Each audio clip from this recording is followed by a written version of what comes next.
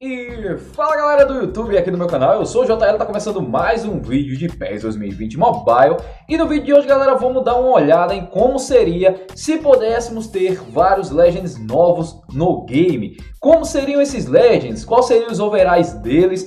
E se seria top ou não como por exemplo, se tivéssemos o KK Legend no PES 2020 Mobile, não só no 2020 Mobile, mas nas próximas versões e atualizações. Seria top ou não? Você gostaria de ter algum desses Legends? Não esqueça de comentar, hein? Então já chega deixando o like e se inscreve no canal se você não for inscrito ainda. Não esquece de me seguir também lá no Instagram, eu sempre posto coisa nova lá, arroba JLSports. Me segue também na página do Face, o link tá aí na descrição. Sem mais enrolações agora, vamos ver quem seriam esses Legends e como seria top ter eles no PES 2020 Mobile.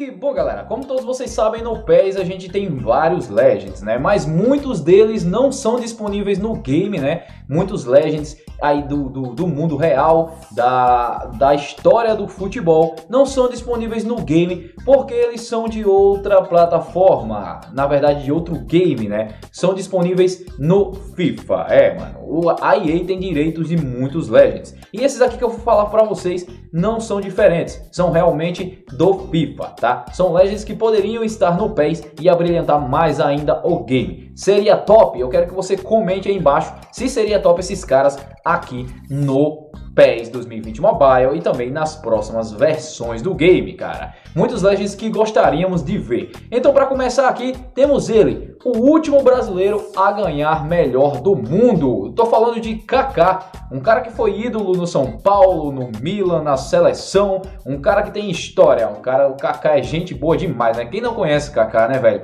E Kaká, galera, seria aí, digamos assim, um legend que poderia brilhantar e agregar pra caramba, né? Seria um meio de campo perfeito aí, eu acho.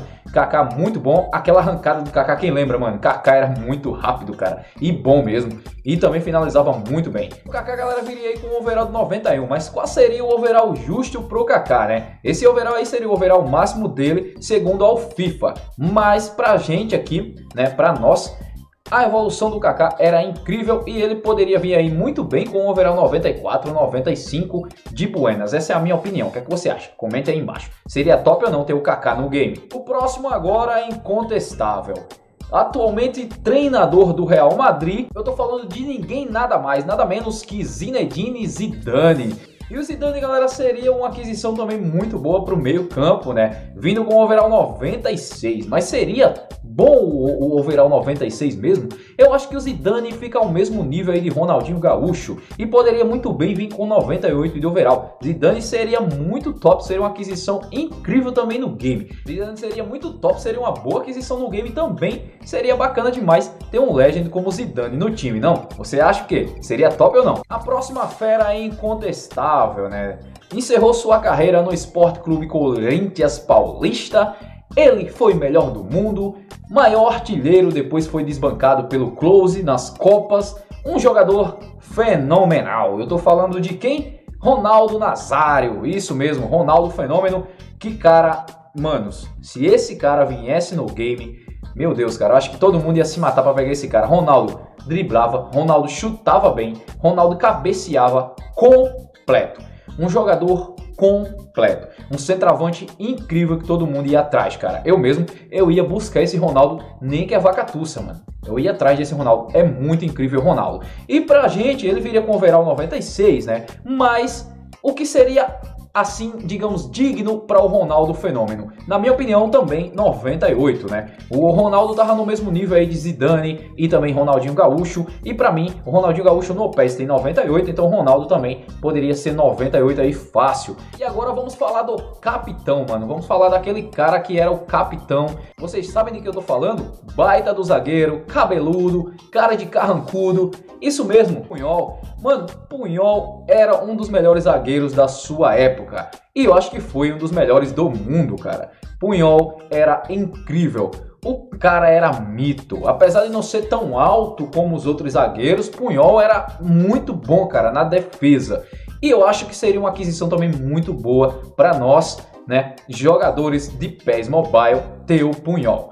Nossa, seria incrível um baita do defensor, um cara que tinha um passe bom, um cara que tinha consciência defensiva incrível. Mano, ninguém ia passar pelo Punhol. Imagina uma zaga com Van Dijk e Punhol. E o Punhol, galera, viria com o overall 93. Seria justo pro Punhol 93? Na minha opinião, como o Punhol era um baita do zagueiro, seria justo para ele 96, pois o Punhol realmente era absurdo, cara. E eu acho que seria mais que justo para ele. Seria top ter esse Punhol no game ou não? Eu quero que você comente aí embaixo para mim seria incrível. Agora, galera, eu vou falar de um cara que fez história também.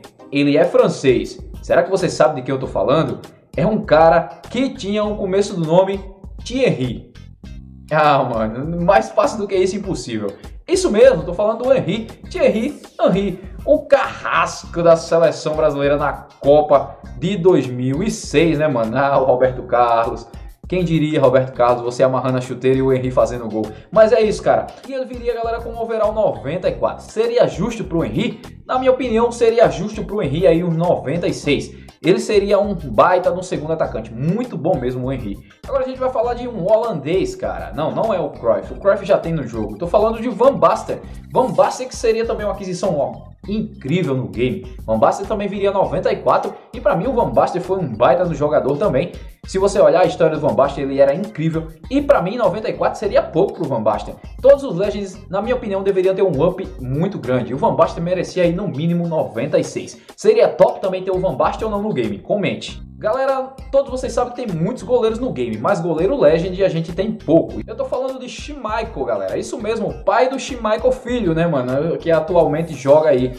Ele também é goleiro e seria top, seria uma aquisição boa, seria uma aquisição bacana aqui no game. Seria bacana demais. Ele viria aí com 93 de overall e na minha opinião, sim, ele merecia um up também. Como a gente sabe que o Oliver Kahn tem 93, eu acho que 93 para ele está justo, mas o que o Oliver Kahn deveria ter realmente era 95 e também ele deveria chegar a 95. Você acha que não? Deixa aí nos comentários também. Outro Legend que seria incrível seria o Fábio Canavarro, outro zagueiro que não condiz com a sua altura, mas que era bacana demais. Um zagueiro nunca mais ganhou o melhor do mundo, né? E o último foi quem? Canavarro, meu parceiro, melhor do mundo. Canavarro ganhou, mano. E foi incrível. Foi um zagueiro excelente. E ele seria uma aquisição top também. Consciência defensiva incrível, cabeceava bem apesar de ser baixinho, tinha um bom passe e Canavarro seria impressionante. Ele viria com o overall 93, mas será que 93 seria realmente necessário para ele? Seria uma coisa assim, digamos, justa? Na minha opinião, na minha humilde opinião, 95 estava ótimo para o Canavarro. Ele seria incrível, né, mano? Apesar da sua estatura, era um zagueirão. E agora o cara que perdeu o pênalti na Copa de 94. Você já deve estar tá sabendo quem é, né? Baggio. Isso mesmo, um baita do meia e que seria excelente também. Viria com overall 94, mas na minha humilde opinião, Baggio, também da época de Romário, assim como ele, deveria pegar 97 no mínimo de overall. Seria incrível ter o Baggio aí no meio nossa, mano, seria top demais ali. Baixo, Ronaldinho e tal. Mano, que impressionante seria esses Legends no game. E agora, galera, um Legend português. Não, não é o Figo. O Figo já tem no jogo. Eu tô falando de Eusébio. Muita gente perguntando, JL, vai vir um Eusébio no game? Bom, cara, isso aí é muito difícil decidir. Como eu falei para vocês no começo, a EA é detentora dos direitos desses caras. E para eles virem no PES é muito complicado. Mas seria top ou não? O Eusébio viria com 94 de overall. Mas, mas seria justo realmente pro Eusébio e pra história dele? E agora, galera, mais um goleiro. Então, esse eu não tenho nem o que falar. Também eleito melhor do mundo como goleiro, que é uma coisa muito complicada. E achem foi um baita no jogador. Ele merece sim esse overall 95 que está aparecendo aqui. E eu acho que isso sim é justo de um Legend. Esse seria um dos goleiros mais apelões do jogo, com certeza. Seria top eu não ter um goleirão desses no game. Bom, galera, e por último, mas não menos importante para fechar essa galeria de Legends tops que poderiam vir no game, eu tô falando dele, ou melhor, o rei do futebol, Edson Arantes do Nascimento Pelé. Pelé que nesse momento tem 79 anos e é um, nossa, mano, um ícone na história do futebol. Todos os jogadores mundiais se inspiram no Pelé para serem melhores do mundo. Pelé seria 99, mas seria justo para o Pelé realmente ser 99? O Maradona é 100. Pelé é melhor que Maradona. Então, na minha humilde opinião, o Pelé deveria ser 101 de overall. Isso sim é digno do Pelé. Muito incrível o Pelé, seria uma aquisição impressionante. Eu acho que todo mundo iria atrás desse Legend, mano. Mano, assim como o Ronaldo, o Pelé é incontestável que todo mundo quer ver o Pelé no game. É incontestável. Mano, ia ser uma apelação impressionante, né? Seria incrível e bacana demais. Bom, galera, esse foi o nosso vídeo. Espero que vocês tenham gostado. Se vocês quiserem que eu traga mais Legends que poderiam vir no PES, e a minha opinião sobre eles, deixa aí embaixo nos comentários se você gostou desse estilo de vídeo. Eu vou ficando por aqui, galera, mas antes da gente encerrar o nosso vídeo, eu quero agradecer a galera que doou na última live e ajudou demais. Aquele salve e aquele forte abraço pro Logan Gameplay, Luke007, Teos Domingos, Thomas Miller, pro Bruno, pro Wesley Oliveira, JK Rodrigues, Adailson Souza, Break Droid, pro Eric, Nicolas Rodrigues, João Carlos Amorim e pro Douglas Costa. Muito obrigado, galera. Um forte abraço e um grande salve para todos vocês. Então, esse foi o nosso vídeo. Se você gostou, não esqueça de deixar o seu like, se inscrever no canal se não for inscrito, tá aparecendo logo aqui em cima da minha cabeça. Do outro lado, vídeos anteriores bombando no canal. Faz maratona JL, hein? Tamo junto. Eu vou ficando por aqui. Até a próxima, hein? Valeu demais!